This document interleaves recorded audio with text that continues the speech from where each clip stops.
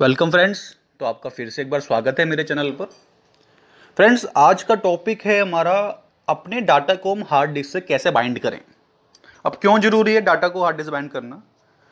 तो ये safety purpose के लिए होता है। जैसे कई पर्सन हम चाहते हैं कि हमारा डाटा सिर्फ़ हमारे सिस्टम पर ही लॉगिन हो पाए।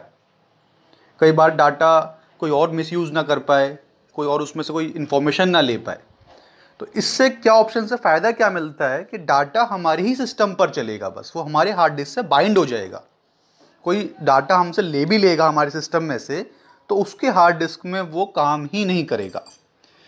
तो ये ऑप्शन मिलता कहाँ पर है फ्रेंड्स हम जाते हैं administration configuration first option feature and option इसमें आता है जनरल जनरल में ऑप्शन मिलता है मैम फ्रेंड्स हमें ये फोर्थ नंबर पर bind data with specified hard disk.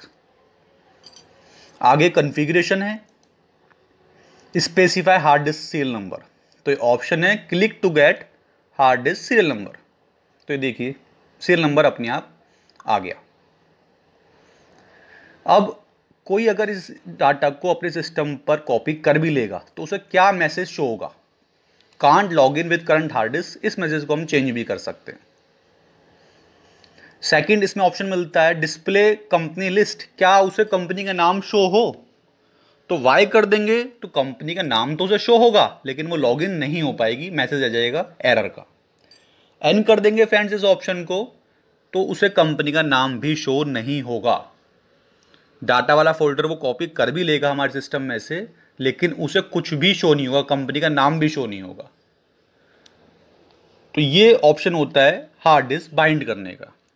हमें हेल्प करता है कि हमारा इन्फॉर्मेशन किसी और के पास ना पहुँचे, कोई हमारा कोई डाटा कॉपी कर भी ले तो उसके हार्ड डिस्क पे वो ऑप्शन काम ही नहीं करेगा। हमारी कंपनी शो ही नहीं करेगी, या वाई कर देंगे तो शो तो करेगी, लेकिन वो इस कंपनी को लॉगिन ही नहीं कर पाएगा। Thank you friends